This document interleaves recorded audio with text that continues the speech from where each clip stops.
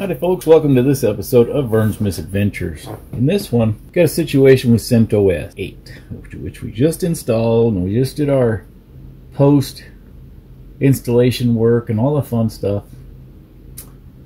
Installed an update and now I have a failure when it tries to boot. Let's get down here to CentOS 8 and try to get in here. Okay, so it start it says starting switch root. That's the last thing it did successfully, and then it says failed to start switch root. See system control status for the details, right? So let's do this. System control status. And then RD switch dot service. So if you look here, it says fail to switch root, specified switch root path sysroot does not seem to be an OS tree. OS release file is missing. So I did some research and this person here, this person says you can do it this way and fix it. So let's just try it. Okay, so I'm busy editing the movie you're watching right now and it occurs to me that I never did show you the show the web page or anything else. So let me jump over here and take care of that little problem.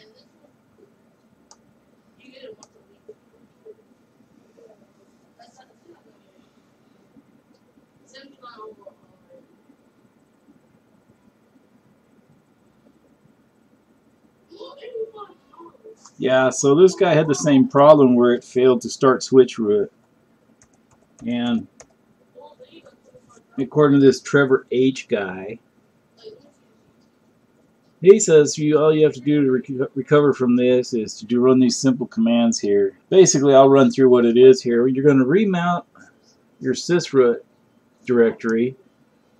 Uh, you're going to remount it as read and write because by default it's read only. So first you're going to do that. Then you're going to change directories into sysroot and etc.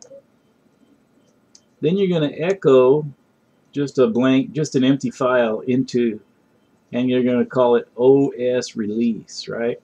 It's because the complaint was that OS release was missing. So once that's finished, you're going to remount back to read-only the sysroot directory, right? And then reboot the computer. Sounds simple enough. But as you as you're about to see, life isn't always that pretty. So this turned into a real misadventure but we will fix it. All right, back to the movie. So we'll go mount dash O remount comma RW space slash this sysroot. Okay. And we're going to change directory into sysroot etc no such file or directory. So let's go into cd into sysroot ls no no ls all right So now let's see here. Change directory into Etsy. And there's no such file or directory. So let's change directory. So let's see if we can just go into Etsy.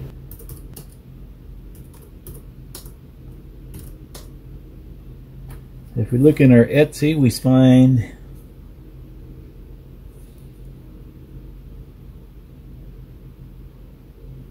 we find OS release is there. So then we can go to the next step, I guess, which go to echo quote unquote into OS release.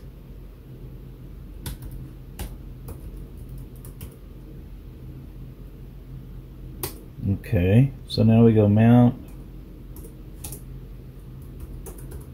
O, remount RO sysroot and now it says we can reboot Let's see if that fixed it. There, enter.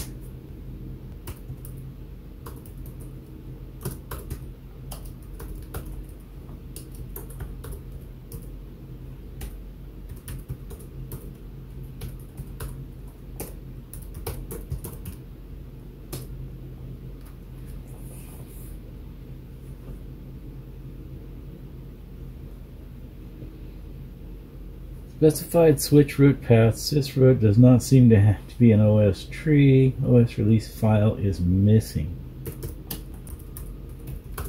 There's nothing in there.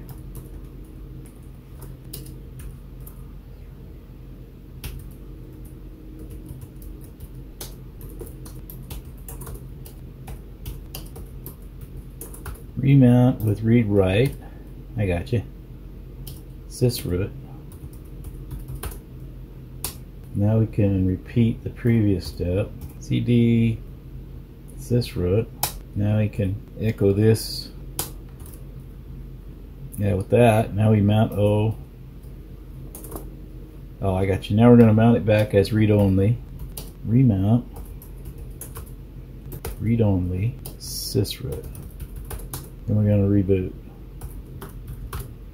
So now I have an OS release file in sysroot and let's see if that makes the difference.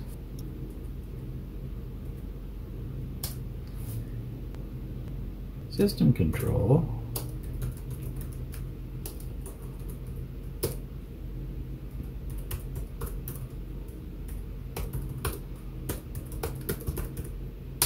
Only got a limited number of commands here. That doesn't seem to be working, this whole plan here.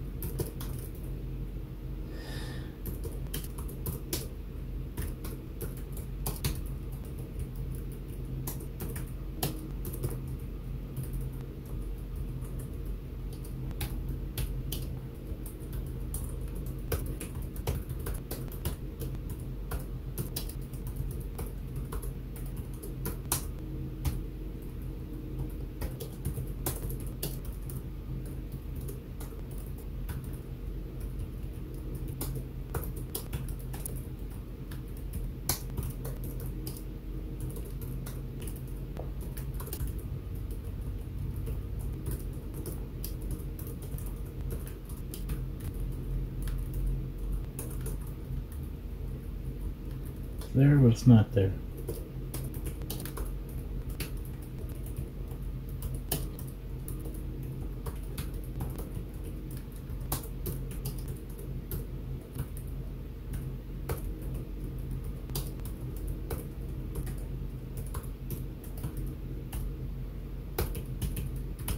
Well, maybe that's enough. Let's try re... Oh, let's...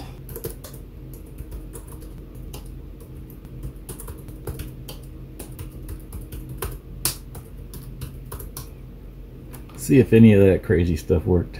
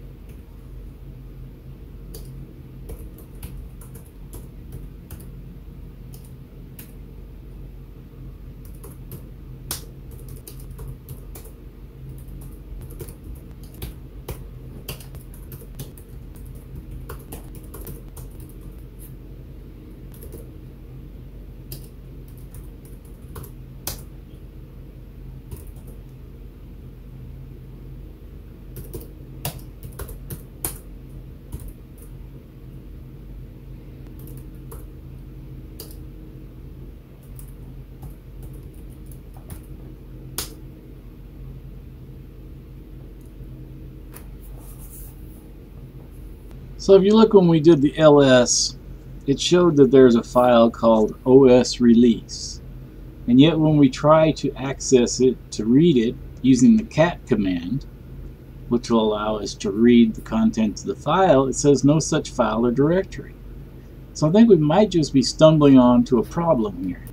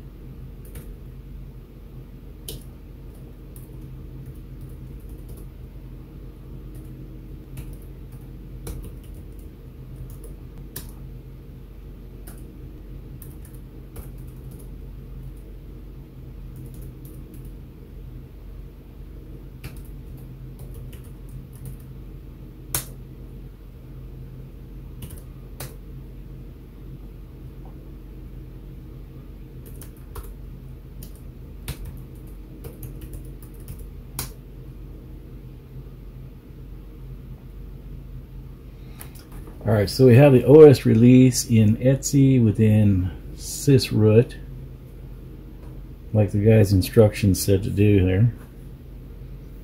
Even though it wasn't originally in there, so I don't know exactly if it's looking for Etsy inside sysroot.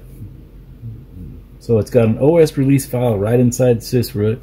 It also has an etc inside sysroot. So it was just a, an error where somebody who was typing the script or whatever out forgot a directory or something and that might work because we've now copied etc over to sysroot and within etc was the OS release file. So I don't know but we will check. So the next step is to uh, remount as read-only sysroot. So let's go mount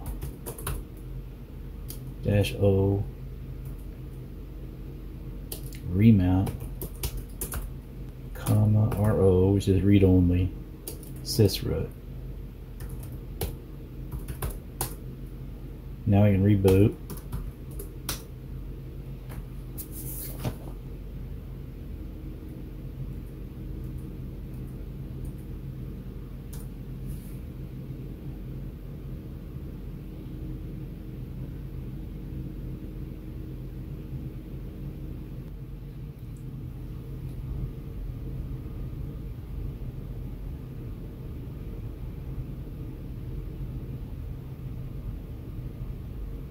Wonder how long we go on with this until such time as we just decide that this has failed. restart counters at 198. Let's see what happens when we restart. Seems to be caught in a loop. Should have just left a blank file in there. Maybe it's invalid and that's what caused the issue. So let's change it to a blank one. Alright, so we were able to mount and access the logical volumes used by CentOS. Alright, so it's a VG scan is what you do. So run that. And it found some volumes CL100. So from that we're going to go sudo make directory. Now here we go. Now we'll change directories to mount CentOS root within here we have Etsy, so we'll change directory to Etsy. Uh, and there should be an OS release file in here somewhere. There it is. Let's look at the OS release file.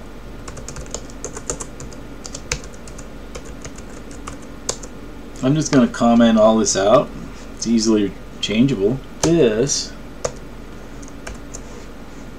So basically if it's if it's blank can work with it somehow so with everything commented out, so it won't be an issue, we'll enter, control X, and uh, that should do it. We just exit, and restart.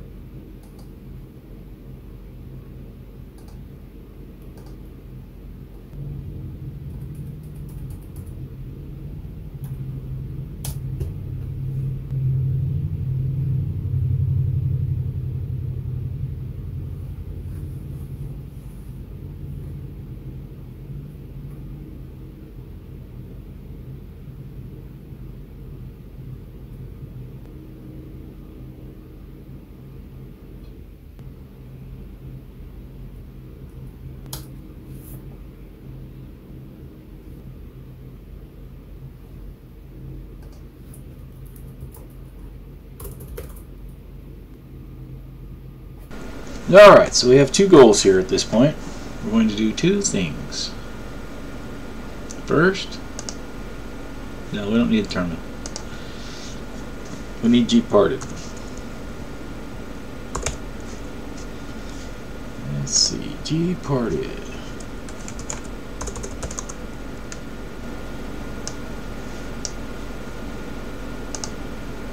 Devices, SDE. What we want to do is we want to get rid of this uh, SDE 14 here, and 10 as well I believe. So we do that and we remove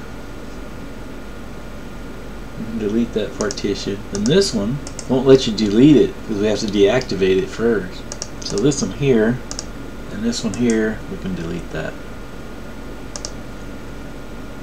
And so I'm wondering if maybe what has happened here is I've had some kind of conflict because I had these other these other partitions also slated as CentOS and maybe when it went to do an update and install things it found those and dumped things in there. I, I don't know. I'm grasping at straws here. I have no idea what the hell.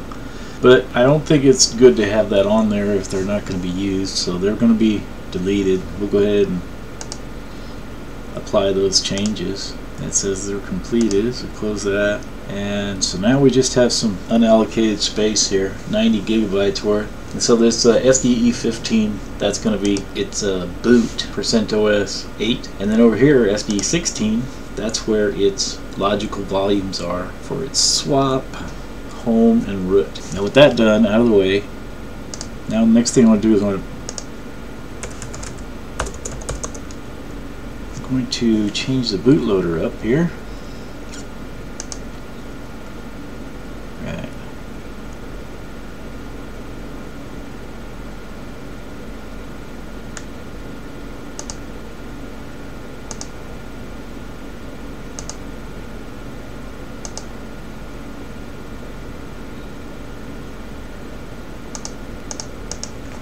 we made a few changes and changed them back just to make sure that it completely redid it.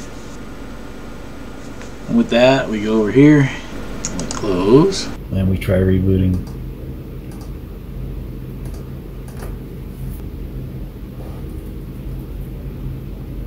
Hmm, isn't that interesting?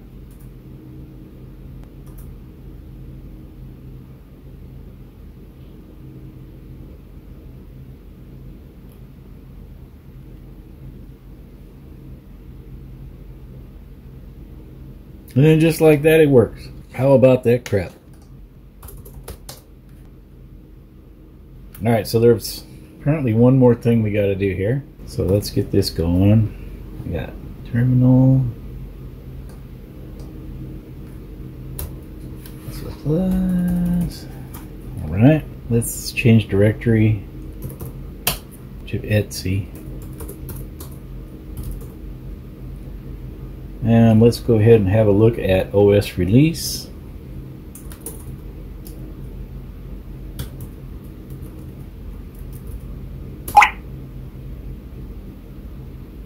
Yeah, close.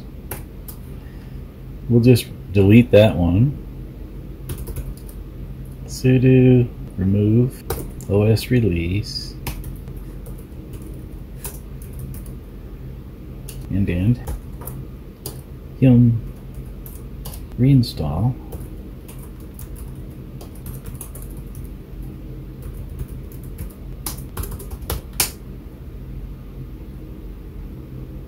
Ah, gotcha. Bummer, we gotta type it all back out again. well, we'll see if it did any of it. Looks like OS release is gone, so we just have to do the yum install CentOS release.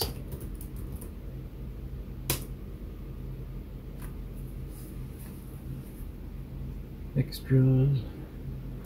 Yeah. I guess so.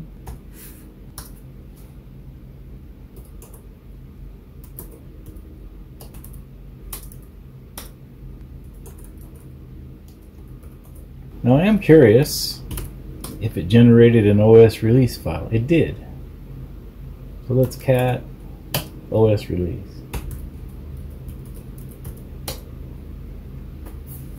Hot diggity, it worked. Alright, so the next thing I want to know I guess we want to update Grub again in OpenSUSE. There. And we go over here go over here to the bootloader. We'll repeat the previous steps. Switch this over to Grub for EFI, which I don't have set up that way. Then we'll switch it back. And then let's see here. Boot from master boot record, that's right. We want to write generic code. It also can boot from a partition. I wanted to have that available. But I don't think I've got it set up right, so it probably never worked, but it seems to work anyway. so we'll leave that be. Let's see. Bootloader options. I still want to use Windows 10, that's correct. So yeah, we should be good to go. And we go, okay. All right, with that, we close, Let's restart. Let me see if we can get back into CentOS again. Ah, see here? Now it says CentOS again in Grub, so that's a good thing. Let's see if it starts.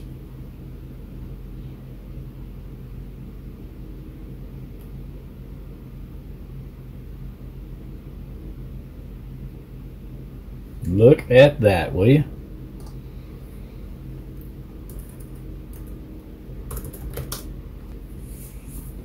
So there you have it. So when I aborted an earlier attempt and it put those partitions, I think it created a problem for me when it went to do the update. We got rid of those and updated Grub and it was like, boom, lovely. So I don't know. Point is, it works. Oh boy. Alrighty. Well, that'll be enough for this video, I'm sure. So, hopefully I'll be able to edit this to in a way that it makes some kind of sense. Thank y'all for watching. And we fixed it. y'all take care.